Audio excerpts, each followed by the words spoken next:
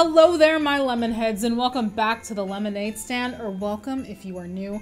My name is Briannah. I'm a certified personal trainer, a big, huge biology nerd, and a registered dietitian to be.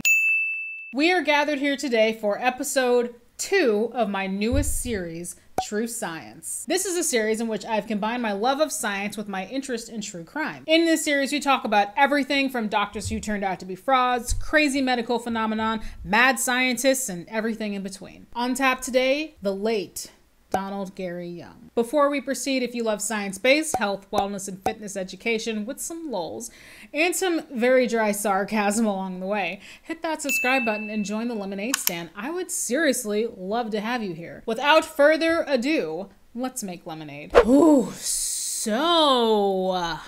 Episode 2 True Science, you guys. Hell yes. So, Donald Gary Young, who I will refer to as Gary Young or just Gary henceforth. Have you heard of this guy? Well, he was a piece of work. Many of you may know him as the founder and former CEO of the multi level marketing company Young Living. Many of you may know him as the baby unaliver.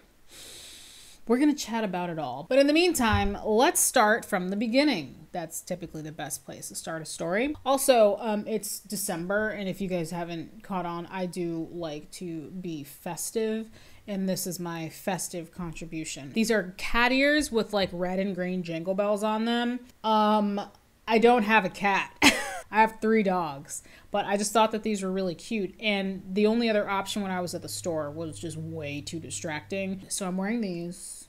Yes. So, on a sunny, beautiful day in July in the year 1949, Donald Gary Young was born. I have no idea if it was a sunny day or not. I'm just assuming it was because it was July. I'm just trying to paint a pleasant picture now because things are to get pretty unpleasant. Gary Young was born in Idaho. Did you guys know that sarcasm potato is from Idaho? He doesn't talk about it much though. So, Gary was the second oldest of six children, and it was said that he really enjoyed the outdoors. I imagine that he was probably one of those kids that like rolled around in the dirt or whatever, caught fireflies, stuff like that. He was also raised in a Mormon household, which may or may not be relevant to the things that are later to come. I don't know but he was raised Mormon. Because multi level marketing runs so rampant in the Mormon community and a lot of religious communities in general, I have found, I don't think it's too crazy to assume that maybe his Mormon background maybe played a hand in the development of his multi level marketing company. So in 1967, Gary graduated from high school and then he took up a job with the U.S. Forest Service, which I think is a fitting job for someone who loves the outdoors. I bet that was a dream job for him. For those who don't know, the United States Forest Service is an agency of the USDA, the United States Department of agriculture. They basically oversee the protection and maintenance of the nation's national forests and protected grasslands. So, cool job for someone who loves the outdoors. I mean,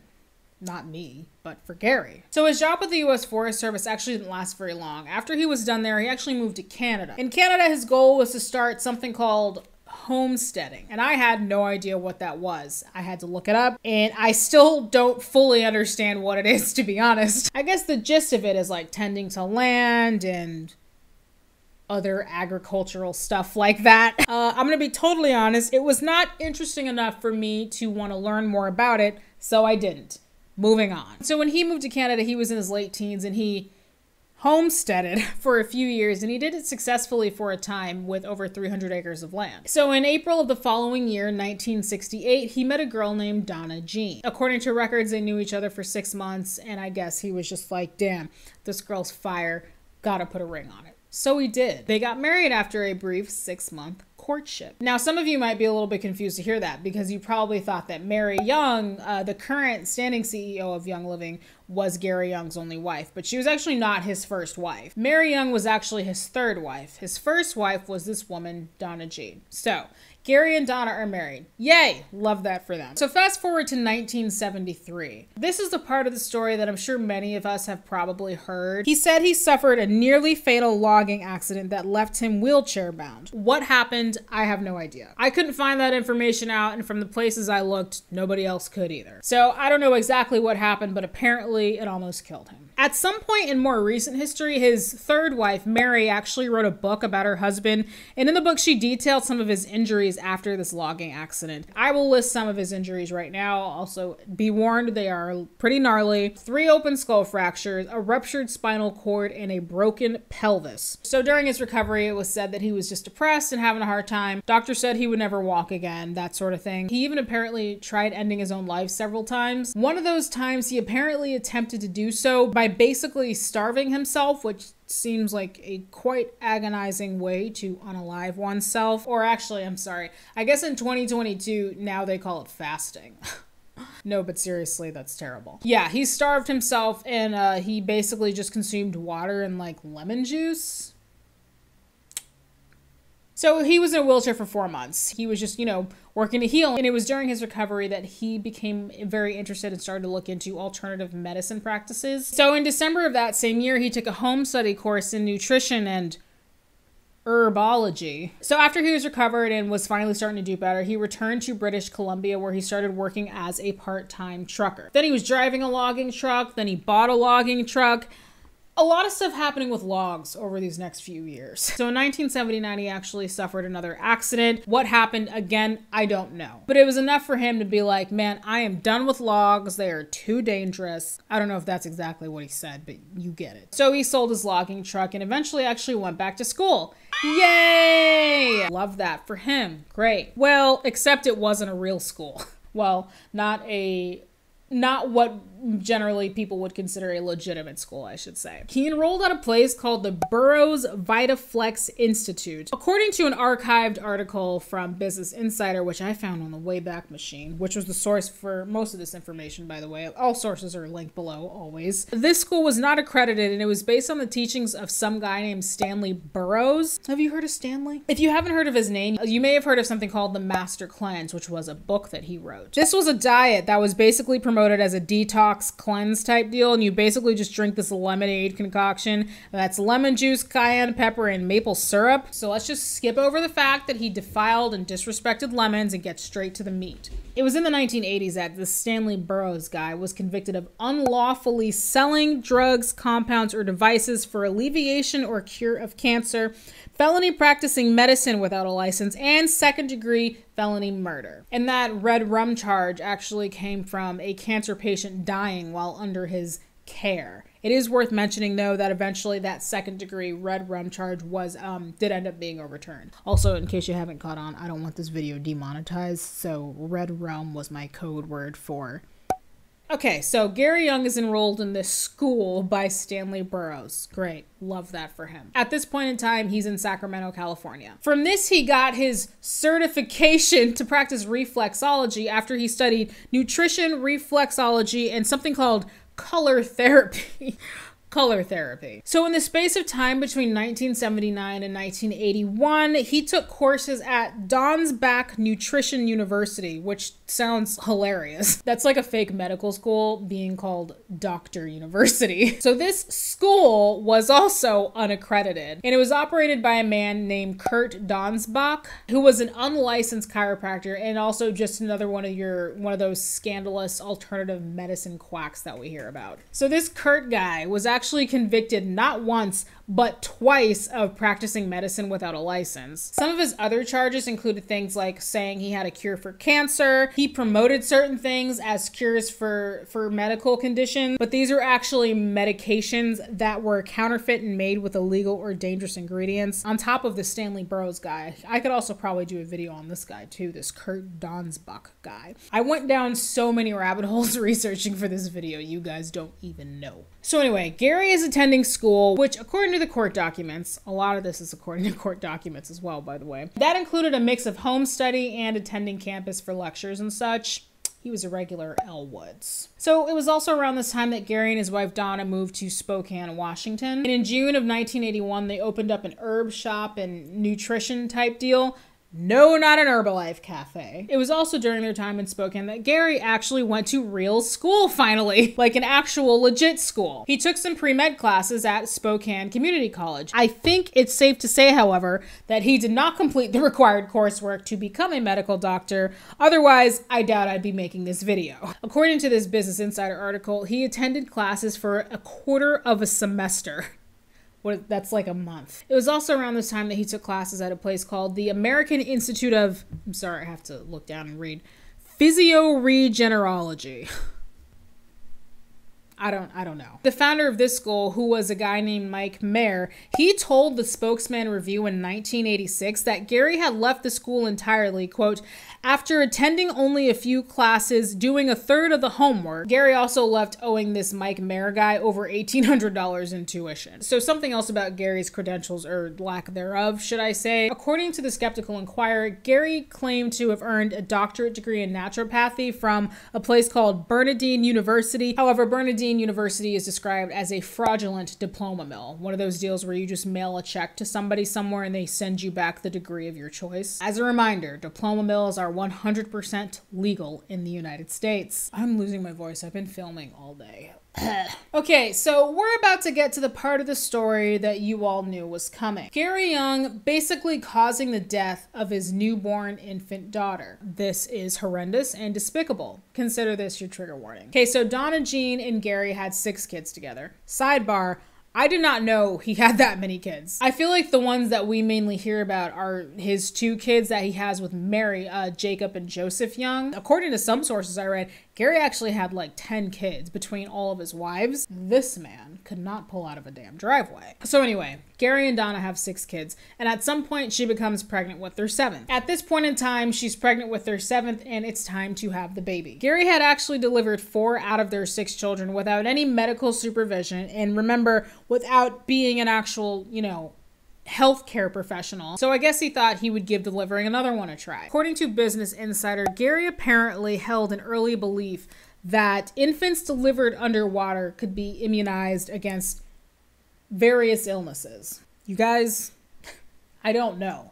I don't know. So I guess this is a method that he thought he would try with their seventh baby. In September of 1982, in a health club that he owned and operated, he attempted to deliver their baby daughter, whose name is Rachel, in a whirlpool bath. I'm sure we've all heard of water births before. It is a thing, but it's generally done in a safe, sanitary, controlled environment with actual trained medical professionals supervising and on standby. This was not that. After baby Rachel was delivered, I guess Gary thought that it would be a good idea to leave her underwater for close to an hour. Now, I, like many of you watching this, know that human infants are not typically born with gills or any other similar underwater breathing apparatus. So, because of that, what do you think happened to little baby Rachel? Spokane County coroner at the time, Lois Shanks, examined Rachel's body and determined that she was, quote, normal and healthy, end quote, upon her birth. In 1983, Shanks told the Spokesman Review that had she been able to have a hospital delivery, she likely would have had an easy birth and probably would have survived. Rachel's official cause of death was oxygen deprivation. So after this story, okay, my husband put all the dogs in here. Chewing noises are Zeus chewing on his Kong. Leave him alone. He's adorable. So after this story was published in the newspaper, they actually contacted Gary for a comment. Gary's only remark was, quote, there are more damn hazards in the hospital than out of the hospital, and there are enough damn statistics to prove it. End quote. Was he even a little bit sorry? At this point, I would love to tell you that Gary was arrested and convicted of something, anything. But if I did, I'd be lying. He was never arrested and convicted of any crime in regard to his daughter's death, which was ultimately ruled as accidental, which is truly unbelievable. I don't understand how he even got away with at least a like a child endangerment charge or something. However, this whole incident did get the authorities' attention. I would love to know how that conversation went among the officers. Hey, this guy left his baby underwater for an hour and it died. Hmm.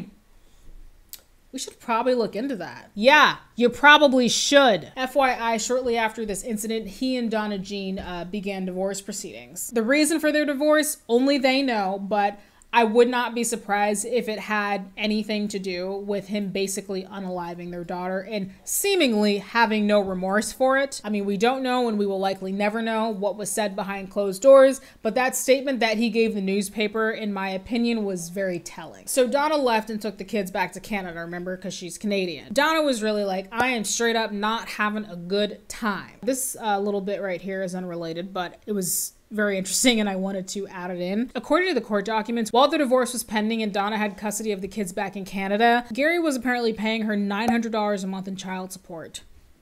$900 for six children. Now, granted, this was 1983. I checked online, and the modern equivalent to that amount is like uh, $2,700. But I just feel like that doesn't seem like a lot for six kids. Or maybe it is. I don't know. I don't know. You guys know me and my husband are child free by choice. We don't have kids, don't want kids, have no plans of having kids. But I know those damn things are not cheap. so, are any of you watching this? Like, do you pay child support for six kids? if so, how much? I hope that's not like too invasive of a question to ask ask. I'm just, I'm genuinely curious. Or any of you watching this? Are you a parent to six kids? What's your opinion? Do you think $2,700 a month is enough for six kids? six kids sounds like a goddamn nightmare. anyway, so remember I just said he wasn't arrested or convicted of any crime in connection with his daughter's death, but I did say this incident got the authorities' attention, right? So that same year in 1983, Spokane PD went undercover to investigate this Gary guy. They sent two officers in to pose as a pregnant couple seeking medical medical advice, and other services. I don't know if the female officer was actually pregnant or if they just like put a pillow under her shirt. Either way, love the commitment to the role. So this couple reached out to Gary under the guise of seeking alternative methods for the delivery of their child. They told Gary that they'd had complications with their last birth and wanted to try something different. So at their appointment, that's what they discussed. At some point during the appointment, chronic disease was brought up and one of the officers mentioned cancer. He told Gary that his mother-in-law had cancer. Gary said that he could treat cancer cancer through alternative means,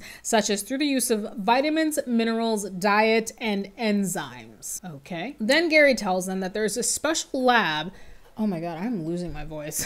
then Gary tells them that there's a special lab in Salt Lake City, Utah, that can test your blood for things like, quote, body deterioration, end quote, and quote, compatibility for food and food supplements to avoid allergic reactions, end quote. I'm quoting court documents here, by the way. These are the court documents according to his first arrest. So undercover cop is like, sounds swell. Can we do it? Gary says, yeah, sure. So they set up an appointment to do this blood test. So now let's jump ahead some time. I don't know, let's say like a week. And now we're at the appointment for this. I want to take this time to bring up a red flag for when you were at the doctor or with someone who was, you know, your healthcare provider. Apparently, according to the court documents, Gary says he can't draw up the guy's blood himself. So he gives the patient, who remember is an undercover cop, a diabetic syringe and is like, do it yourself. Okay, so I know this is a sting operation, right? So the cops already have a pretty good idea that this guy's a phony. But for all of you watching this, I just want to say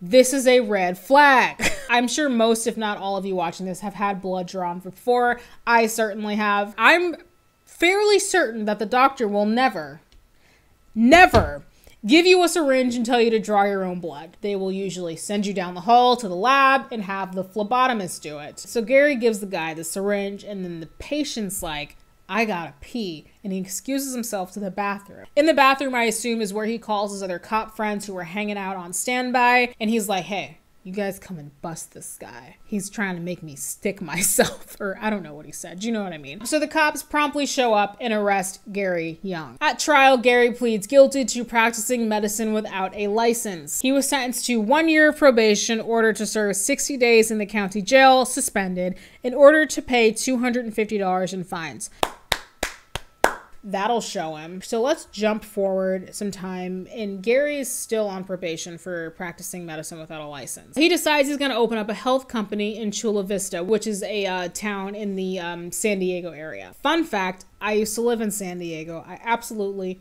loved it. It was in San Diego that I actually graduated high school and started college. And personally, for me, San Diego is right up there um, with Austin in Briannah's top favorite places she's ever lived. Yeah, love San Diego. It's a good vacation spot too if you never visited. Also, another fun fact, the town the part of San Diego that I lived in was Coronado. If you are a true crime junkie, you may have heard of the case of Rebecca Zahau and Max. I'm sorry, I don't remember the little boy's last name, but um, the the case where the little boy falls off the banister under mysterious circumstances, and then uh, his stepmom or his dad's girlfriend is then found dead the next day under mysterious circumstances. That happened in Coronado, California. I lived in Coronado when that happened. Uh, Coronado is a very affluent city, and um, on my way to work, because I, I used to be a lifeguard, I lifeguarded in San Diego. One of the routes I take to work, if I wanted to take the scenic route, I would take um, Ocean Avenue, and I drove by Spreckels Mansion on my way to work when I took Ocean Avenue. And I remember when that happened, Spreckels Mansion was absolutely swarmed with news and officers uh, for a while. Yeah, if you've heard of that case, if you're a true crime junkie like me, I lived in Coronado at the time that that happened. Anyway, not talking about that right now. So, anyway, Gary opens up this health company in Chula Vista. Great, love that for him. This company was called Young Life Products. They sold vitamins, colonic tips, extracts, and mouthwash. I thought it was weird that they listed colonic tips in the same sentence as uh, mouthwash.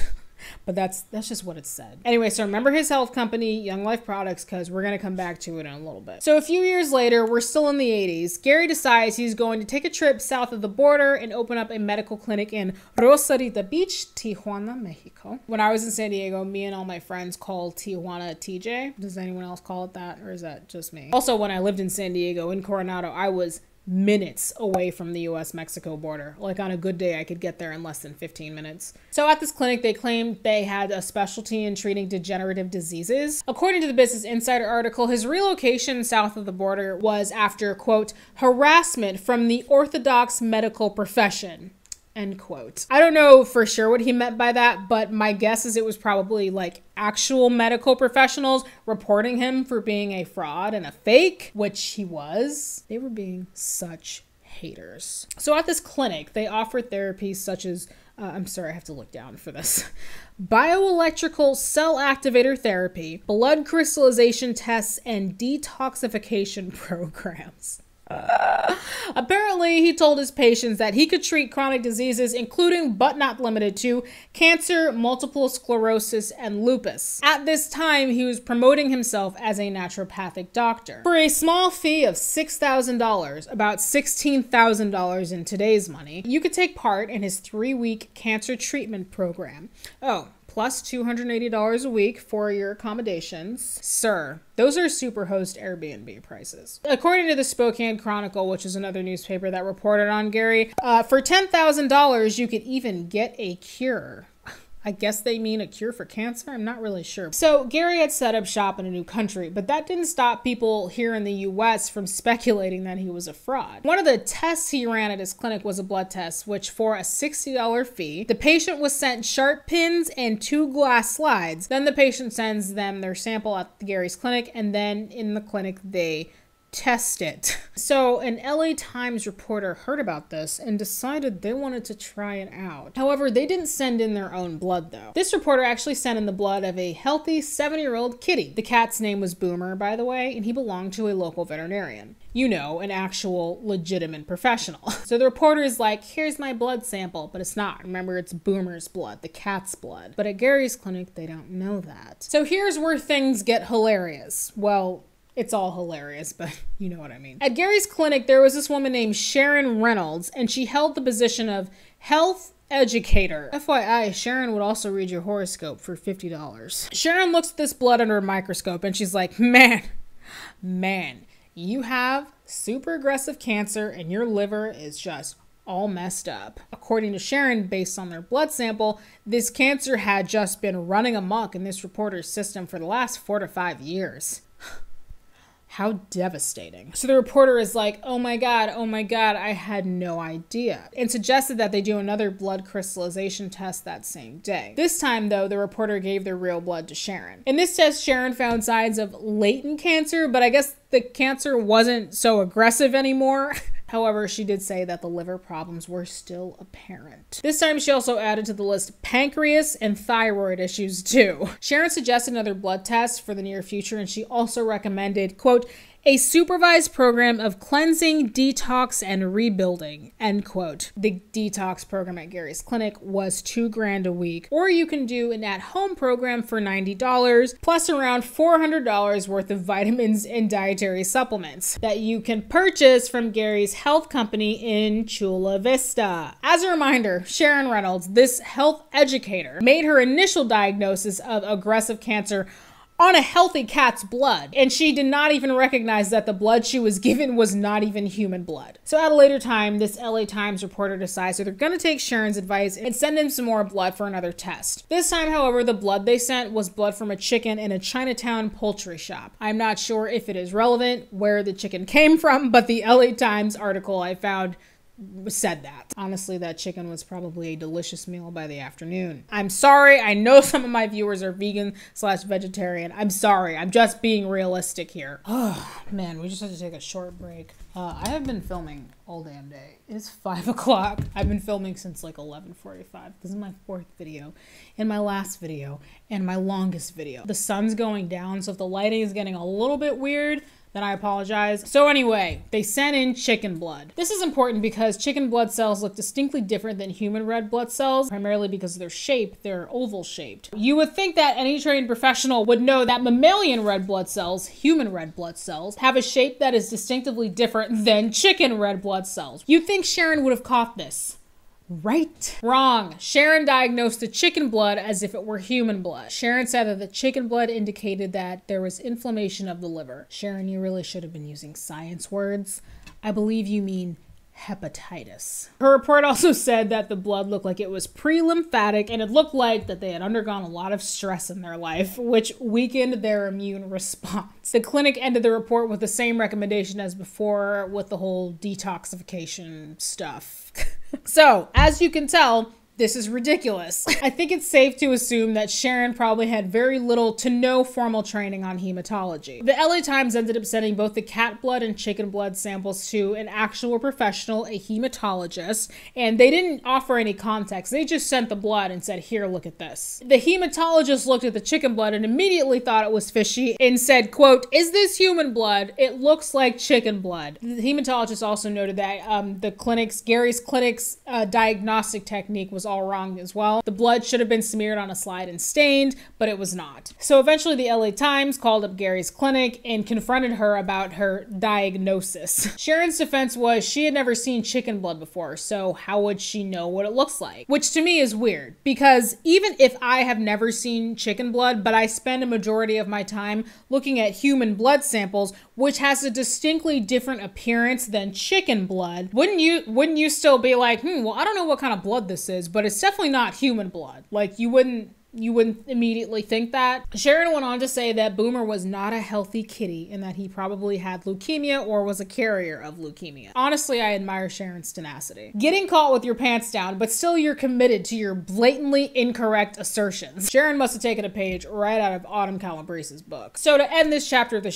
show, I do want to let you guys know that Boomer the cat was tested for leukemia and he was found to be neither afflicted with it nor was he a carrier. I don't know about you guys, but I trust the veterinarian's analysis analysis of Boomer a little bit more than I do Sharon's analysis. So let's take a break for a minute and check back in. If at this point you are somebody who's thinking, oh my god, well, this is all really messed up, but like, what's the big deal? The big deal is a, it's a crime in the United States to present yourself as a medical doctor and treat people as one when you're not one. In the United States, I have noticed that sometimes to a fault, we hold medical doctors in too high a regard. For example, when a medical doctor tells someone to do keto when it's not necessary, a registered dietitian who is more educated in nutrition and food science than a medical doctor is looks at that and says, I'm actually, that's not correct. You actually don't need to do keto. That person who doesn't know what a dietitian is or doesn't know that dietitians are more educated in nutrition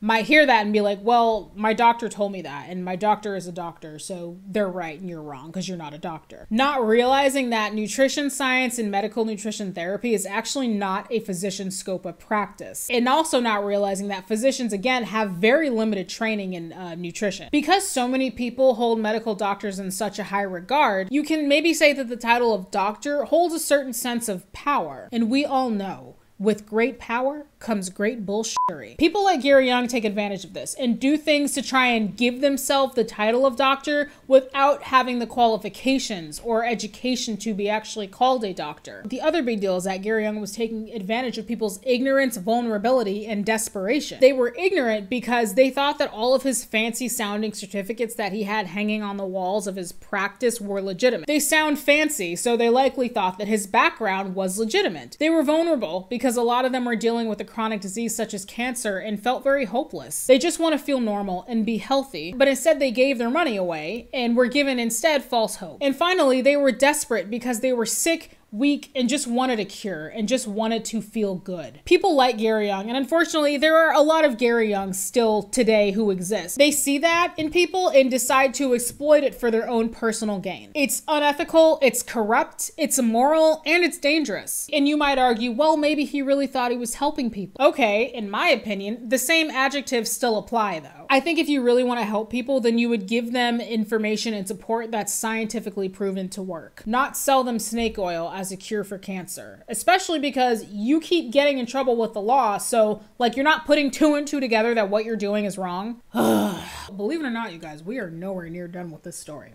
So, where are we at now? The year is 1988, and the state of California is tired of Gary's tomfoolery his skylarkings, if you will. So they file a complaint against him for his health company. Remember the one in Chula Vista? In this injunction, they allege, quote, unfair, deceptive, untrue, and misleading advertising and unlawful, unfair, and fraudulent business practices End quote. And the reason for this is because he sold and produced unapproved medical devices and drugs and advertised that his company could cure cancer and other diseases, according to court records. Also, on this injunction, it listed Gary's name, a guy named Richard Crow Jr., and a Dixie Young. So, Dixie was actually Gary's second wife. I could find basically no information on her and their marriage. Just know that his second wife's name was Dixie. I just wanted you guys to know that because remember, his last wife that we talked about, her name was Jonna Jean, and I told you guys he had three wives, but I didn't want to just skip to Mary Young without letting you know about the wife in between. So the second wife's name was Dixie,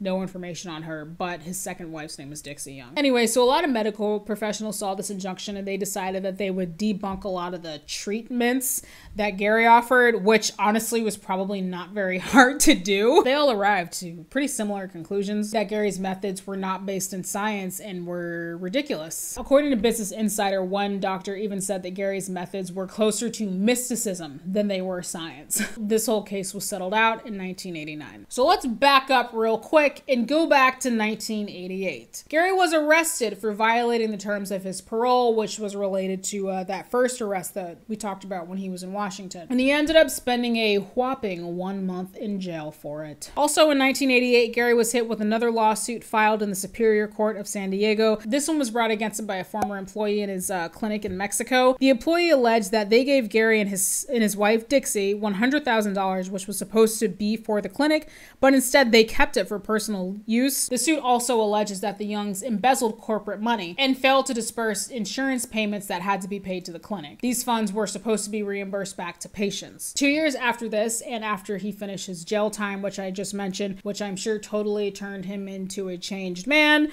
Gary was ordered to pay back his former employee $100,000. So, essential oils. Finally, we're getting to the goddamn essential oils. What a whirlwind this has been. This video is going to be hell to edit. All right. Here we go. So, according to court records, by the late 1980s, Gary had started a multi level marketing company which was called Young Life International. They distributed products like Colon Aid to rid the body of toxins and Liver Tone, which rid the liver of toxins. These products incorporated essential oils as well as other ingredients such as herbs. Also, in the brochure for this company, Gary referred to himself as Dr. Gary Young. So, when did he become obsessed with essential oils, you might ask? Well, according to Mary, his third wife, he was introduced to essential oils by a Swiss woman when she brought them to his clinic in Mexico. Apparently, this woman gave him an envelope full of research, and from then on, he was just enamored with them. So I'm sure most of you know this, but I'm still going to go ahead and say it anyway. There is little to no scientific research that has conclusively determined that essential oils do anything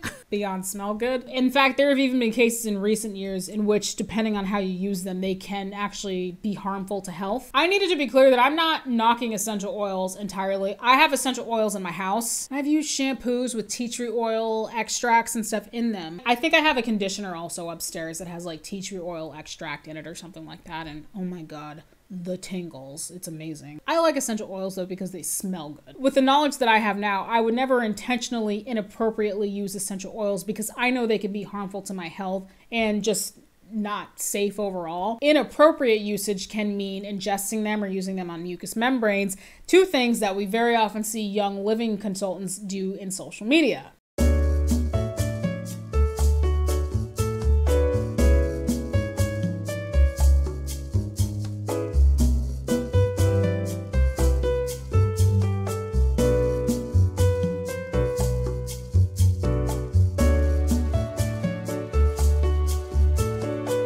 Young Living in a minute. In 1993, he finally met his third wife, Mary. They met in Utah at an expo. Mary Young is actually a professional opera singer, which I think is pretty cool. Mary had spent some time in other multi level marketing companies before, so she did have a little bit of a background in them. According to Business Insider, a former Young Living employee said that Mary held herself out as an expert in multi level marketing, but also according to that employee, they said that they believe that she was just more of a manipulator. Those are not my words, those were the former employee's words. So later that year, Gary and Mary re revamped his multi level marketing company, and thus Young Living was born and so was I like a year before. So, throughout the rest of the 90s and early 2000s, Young Living experienced considerable growth, and things were going pretty well with Gary standing as the CEO. So, obviously, essential oils had been around for quite some time before this, but before Young Living came about, they weren't as mainstream. Essential oils attracted a lot of people from many different walks of life. Young Living obviously had employees working on the corporate end of things for normal operation, but remember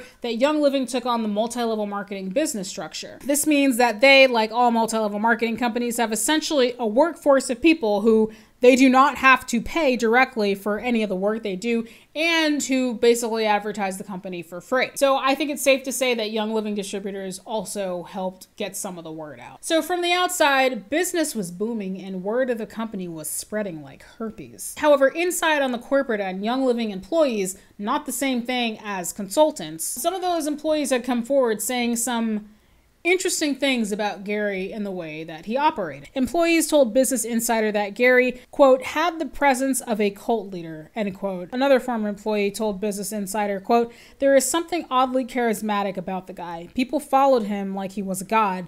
End quote. And that's something that I feel like we see a lot even today in these young living representatives.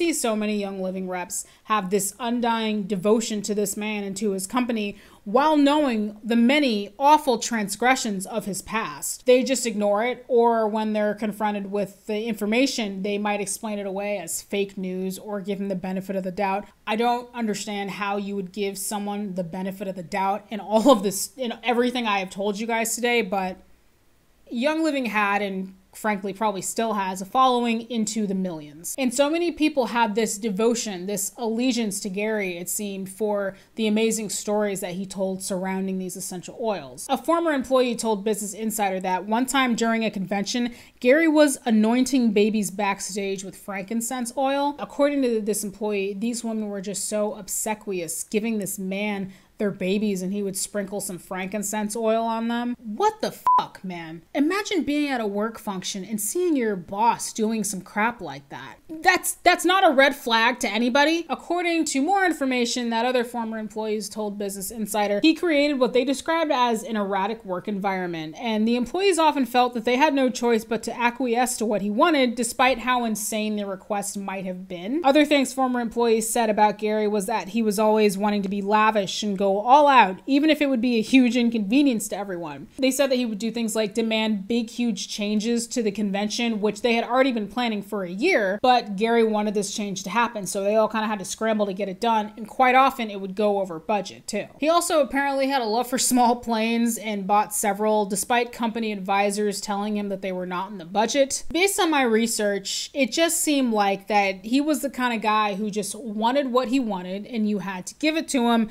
even if it was a huge inconvenience to you and everyone around you. So, Gary had this overbearing and intimidating energy about him that, based on former employees, really bled into the workplace. Eventually, this led the company into some hot water, or should I say, essential oil. In 2017, Young Living was found to have been illegally trafficking rosewood, which is a species of endangered tree from Peru into the United States. The official offenses were one count of engaging in trade contrary to Convention on International, and two counts of trafficking in illegally sourced plants. Young Living pled guilty to this crime and was ordered to pay $135,000 in restitution to the Peruvian government, on top of a total of $625,000 in total fines.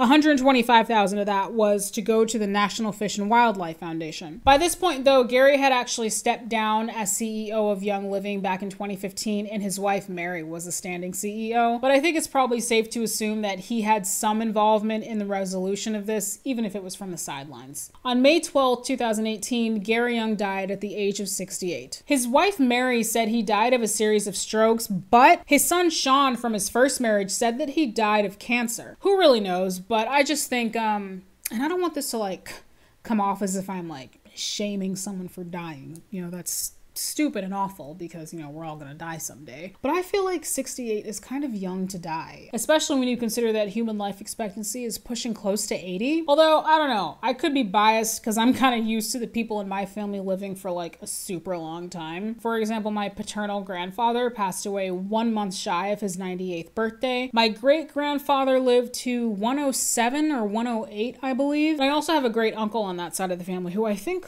I think lived to 99 or 100 or something like that. This is all on my dad's side of the family too. Here is a photo of my dad. He is 67 years old and in excellent shape and health, and he does not use essential oils for anything to my knowledge. It's just very ironic that Gary's whole brand and persona was based on health and vigor and vitality, and he died relatively young, I think. Now, I have a personal theory hypothesis that he really did die of cancer as his son Sean said but his wife Mary just says that it was a stroke because because strokes can kind of come on more suddenly and unexpectedly if he really did die of cancer that would invalidate his entire ideology because he has said before and asserted that essential oils can cure and treat cancer. Some reps even still say that. So, if he really did die of cancer and that came out and was confirmed, it would be very, very bad for his image and the image of Young Living. You have people out here swearing by these oils to cure every goddamn disease under the sun, but to have their founder, their leader, their messiah,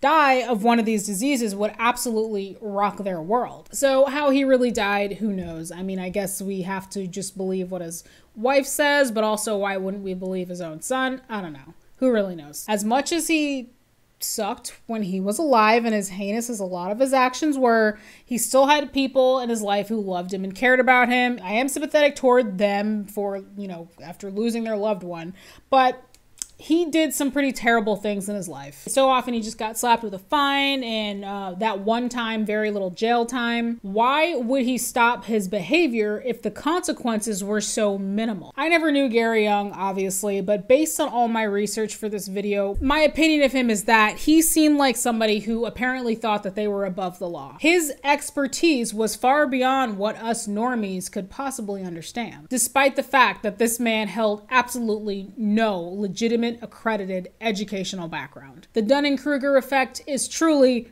unbelievable. I want to do a video on that. I want to do a video on influencers and Dunning-Kruger one of these days. Oh my goodness, what a ride that was. If you are still watching this video, comment oily because I really need to know if you're still here because if you are, you are the real MVP. Thank you so very much for watching. I really appreciate it. Even if you only watched half an hour of it, I really appreciate it. Researching for this video was such a whirlwind. And if you could believe it, I actually left a lot of stuff out just for time. Like as recently as 2016, Young Living ran into trouble with the IRS. They've gotten in trouble with the FDA a few times because a lot of their reps were publicly saying that their oils could treat or cure diseases. In one instance, they implied that their oils could treat Ebola. I actually did a video on a recent FDA warning that Young Living got for more health claims being made by their reps. From 2019, they were faced with a class action lawsuit from a former consultant who was alleging that they were operating as an illegal pyramid scheme. Of course, they denied that allegation. It's wild. It's truly wild. All right, that concludes episode two of True Science, and I have been filming all day, and I am exhausted and I am hungry. Once again, thank you, thank you, thank you so much for watching. I really appreciate you watching, and I appreciate your support.